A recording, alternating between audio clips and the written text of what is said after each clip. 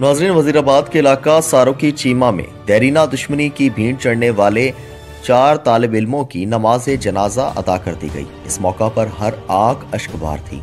वजीराबाद का इलाका है सारो की चीमा, जहाँ गुजशत रोज देरीना रंजिश की बिना पर चार नौजवानों को कत्ल कर दिया गया था। नमाज़ जनाजा में इलाका भर से लोगों की कसीर तादाद शरीक हुई। पुलिस अफसरान, सियासी समाजी शख्सियात ने भी शिरकत की और नमाज़ जनाजा के दौरान सारोकी के कारोबारी मरकज़ भी बंद रहे।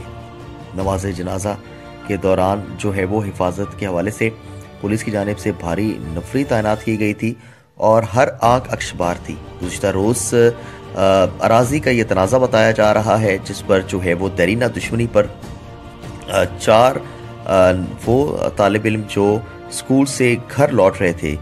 के रास्ते में जो है वो मुखालफी ने उन्हें फायरिंग करके कत्ल कर दिया और बाकी की इतला मिलते ही पुलिस की जानब से जो है वो कार्रवाई का आगाज़ किया गया और फायर ये जो वाक़ है, इसका मुकदमा थाना अहमद नगर में दर्ज किया गया है जिसमें पाँच मरकज़ी मुलजमान और आठ मुलजमान को जो है वो नामजद किया गया है और मरकज़ी जो मुलम हैं, उनमें महमूद मुश्ताक को पुलिस ने गिरफ़्तार भी कर लिया है, जबकि दीगर मुलजमान की तलाश भी जारी है।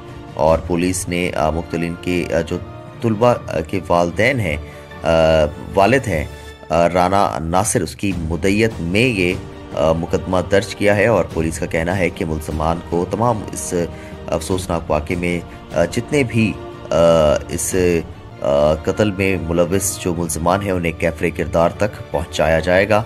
और नमाज़ जनाजा जब अदा की गई तो हर आँख अशकवार थी और इलाका भर से लोग जो हैं उन्होंने नमाज़ जनाजा में जो है वो शरीक हुए। जबकि जो मुख्तलिन के जो वालिद हैं राना नासिर वो, जो हैं उन्होंने इस हवाले से कहा कि उनका मुतालबा है कि सख्त से सख्त जो है वो मुलजमान को सज़ा दी जाए। तो नाजिन वीडियो के हवाले से अपनी राय का इजहार करना मत भूलिएगा। चैनल को सब्सक्राइब करें, बेल आइकन पर क्लिक करें, ताकि आने वाली हर लेटेस्ट न्यूज़ सबसे पहले आपको मौसू हो सके।